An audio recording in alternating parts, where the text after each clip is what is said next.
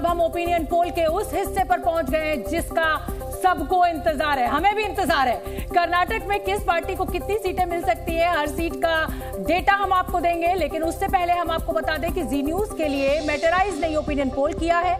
सबसे बड़े opinion poll में दो लाख अस्सी हज़ार लोगों का सैंपल लिया गया है दो लाख अस्सी हज़ार लोगों से सवाल पूछा गया है। सर्वे उनतीस मार्च से तीस अप्रैल के बीच किया गया है, जबकि ओपिनियन पोल का margin of error plus minus पाँच फ़ीसद रखा गया है। यहाँ से हम आपको साफ़ कर दें कि ओपिनियन पोल है ये, चुनावी नतीजे नहीं है।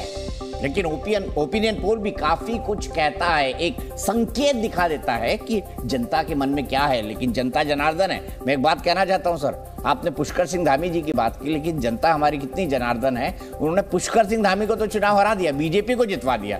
मैं एक ऐसे भी चुनाव जानता हूँ, जिसमें भगत सिंह कोश्यारी जी मुख्यमंत्री कैंडिडेट थे, उसमें उनके नाम पर नारा चला, लेकिन खुद कोश्यारी जी हाँ कोश्यारी जी ने माफ़ कीजिएगा हमारे खंडूरी खंडूरी। खंडूरी। है ज़रूरी वो नारा था। खंडूरी खुद हार गए। दीपक जी दीपक जी। और मैं एक और बता दीपक जी। एक और बता देवी जीत गई डॉक्टर मनमोहन सिंह हार गए। चलिए दीपक आप अच्छी तरीके जानते हैं सब क्यों होता है? और मैं फटाफट अब एलईडी का रुख करूँगी दीपक क्योंकि अब अगला सवाल कि कितना वोट परसेंटेज किसको मिला है ये देखना बहुत ज़रूरी हो जाता है। हमारे दर्शक इंतज़ार कर रहे हैं तो देखिए ये मैं अब आ चुकी हूँ एलईडी पर और किस पार्टी को कितना फ़ीसद वोट मिला है? सेंट्रल कर्नाटक की अगर बात करें तो चित्रदुर्गा दावनगिरी शिवमोगा और चिकमंगलुरु का ये जिला। बीजेपी को चवालीस फ़ीसद कांग्रेस को चालीस फ़ीसद जेडीएस को बारह अदर्स के खाते में चार अगर 2018 की बात करें तो बीजेपी को तिरालीस दशमलव तीन मिला था, कांग्रेस को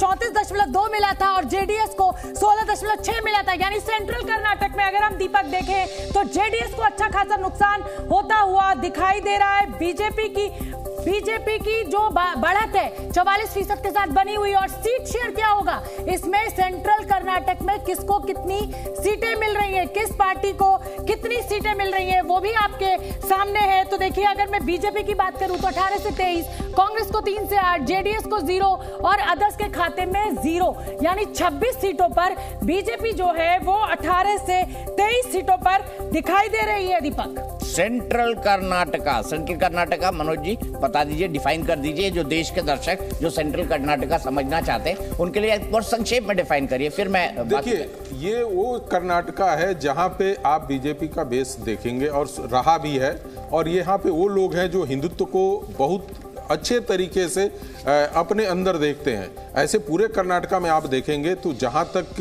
धर्म से रिलेटेड है, चाहे दोनों कम्युनिटी की बात करें संप्रदाय के वो धर्म के प्रति काफ़ी कट्टर भी हैं और बहुत विधवत और तरीके से करने वाले लोग हैं। तो यहाँ पे बीजेपी हमेशा अपना पकड़ बना के रखी हुई है। और सही पूछिए तो यहाँ पे वो लोग भी हैं जो, जिनको कहा जाता है कि पढ़े लिखे जगहों का एक एरिया होता है तो ये भी है वहाँ पे। ठीक है, श्री आप कैसे देखते हैं इसको? ये ये जो रीजन है, वहाँ पर ये जैसे उन्होंने बताया था, वो हिंदुत्व का एक मुद्दा है, अभी भी लाइव है। वहाँ पर, आप देखें, वहाँ पर ये पीएफआई का, वहाँ से क्लैश बहुत ज़्यादा होता था और इसलिए ये, वो रीजन में इतना ये ज़रूरी ज़रूर है, इतना 18 टू 19 सीट्स मिलने वाला ही है। ठीक है लेकिन लेकिन प्रदीप जी मुझे कई एक्सपर्ट ये भी बोलते हैं कि भाई वहाँ पे तो वोकालिंगा और लिंगायत है। उनकी मान्यताएँ भी अलग अलग तरीके की हैं। उनकी प्रीचिंग भी अलग अलग तरह की है। और वो लोग हिंदू मुस्लिम के लफड़े में फंसते नहीं हैं। ऐसा है क्या वाकई में? नहीं जहाँ तक कर्नाटक का संबंध है वो बहुत पारंपरिक तौर पर उसमें हिंदुत्व जो है वो एक उसका अंडर करंट हमेशा रहा है।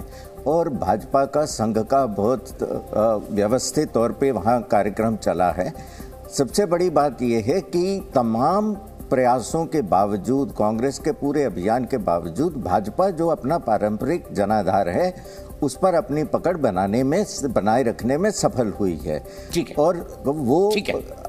वो बढ़त लिए हुए। जी। अगले बिल्कुल बिल्कुल दीपक और अगले अगले सवाल का वक्त हो चुका है। कर्नाटक की सियासत में तटीय कर्नाटक बीजेपी का गढ़ रहा है और क्यों गढ़ रहा है? क्योंकि लिंगायत कम्युनिटी जो है, वो तटीय इलाके में अच्छी खासी संख्या में। तो किस पार्टी को कितने वोट? तटीय कर्नाटक की 21 सीटों की अगर बात करें तो बीजेपी को बावन परसेंट मिलता हुआ दिखाई दे रहा है। कांग्रेस को 40 फ़ीसद, जेडीएस को पाँच और अदर्स के खाते में जो है, वो तीन फ़ीसद। मैं बीजेपी का आपको बता दूँ 51.5 परसेंट मिला था 2018 में, कांग्रेस को 39.6 मिला था, जेडीएस को 5.6 यानी अगर मैं वोट परसेंटेज की बात करूँ तो लगभग उतना ही है हर पार्टी का, जितना 2018 के चुनाव में मिला था। अब ये जानना दिलचस्प होगा कि ये जो बावन फ़ीसद बीजेपी को मिल रहा है, ये सीटों में कितना बदल रहा है? किस पार्टी को तटीय इलाके में, तटीय कर्नाटक में सीटें मिल रही है? बीजेपी को 15 से 20 अगर मैं दो हज़ार अठारह की बात करूँ तो बीजेपी को 18 सीटें इस रीजन से आई थी। कांग्रेस की एक से छह 2018 में कांग्रेस को तीन सीटें मिली थी।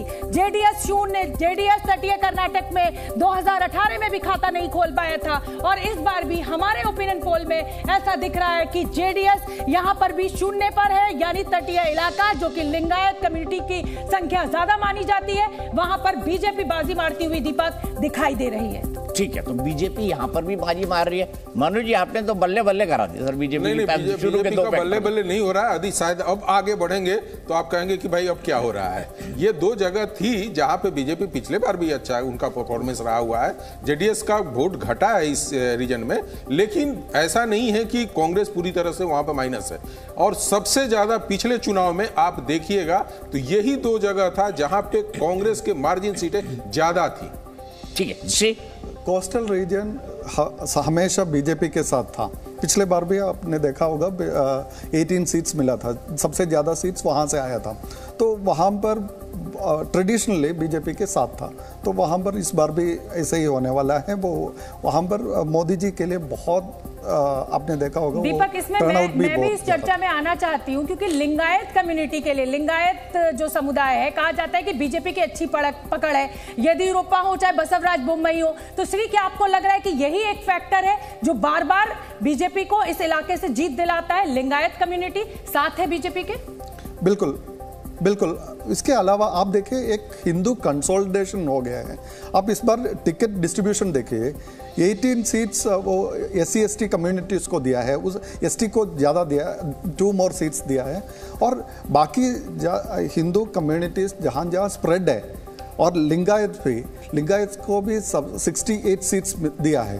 तो दैट इज़ ए बिग चंग हिंदू कंसोलिडेशन के ऊपर उन्होंने ध्यान दिया है। आप देखें वो रिजर्वेशन का मुद्दा हो वो सब ये ये जगह पे ये बहुत मायने लगता पर है नेशनल नैरेटिव का क्या करेंगे? रिजर्वेशन की जब बात आती है तो आप तो अल्पसंख्यकों के अधिकार छीन रहे हैं संगीत रागी जी। यहाँ पर भी पोलराइजेशन करा रहे हैं। देखिए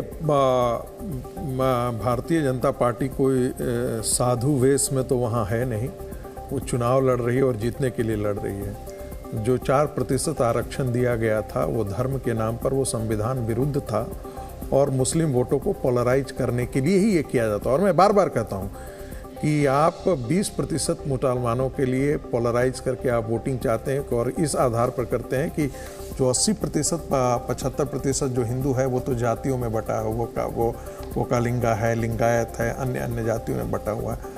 भारतीय जनता पार्टी ने भारत की राजनीति में इस विमर्श को उलट दिया। बोला ठीक है आप 20 प्रतिशत की राजनीति थोड़ा और हिंदुओं को जोड़ा। हिंदुओं को एक लाइन में जातियों को थोड़ा और दूसरा हिंदुओं को जोड़ा। और बस। दस दस सेकंड में खत्म जब आरक्षण की बात हो शोभना, रही है, दस सेकंड तो दे- unfair और होगा। लिंगायत को आरक्षण देने को संगीत रागी जी सही मानते हैं लेकिन अब